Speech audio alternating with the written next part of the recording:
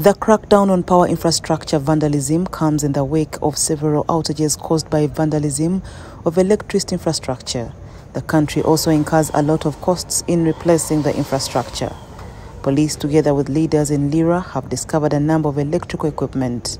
The equipment included aluminium wires, assorted electric wires cut in pieces, and some melted in blocks.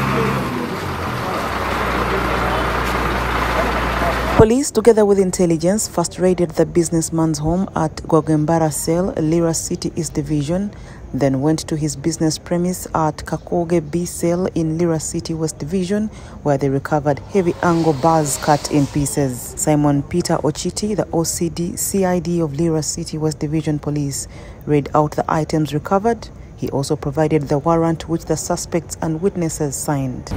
Provide reference um, 08 19 03 2023.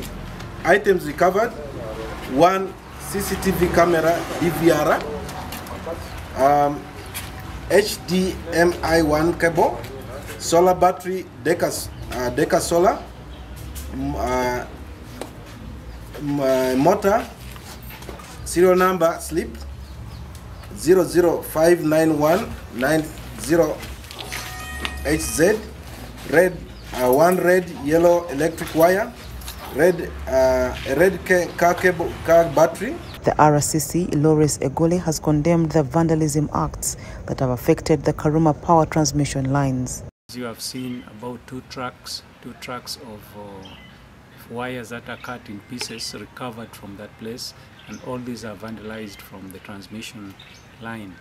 As you are aware, vandalism of this nature is rampant in the country, and uh, for some time the government has been fighting this, security has been fighting this, but you find that there are those who are still doing the same thing because uh, constructing this uh, line right from Tororo uh, via Lira Opuyo, Lira up to uh, Karuma uh, has been given out, but the work cannot be concluded. And because a lot of materials are stolen, what they need for working on this line is normally stolen by, by, by, by wrong people.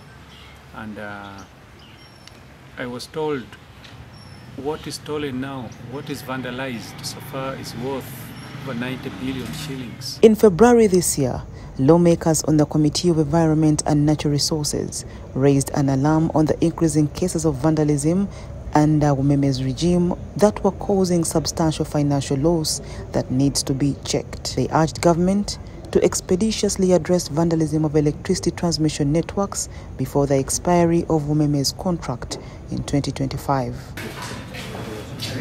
Report compiled by Hudson Apunyo for the news.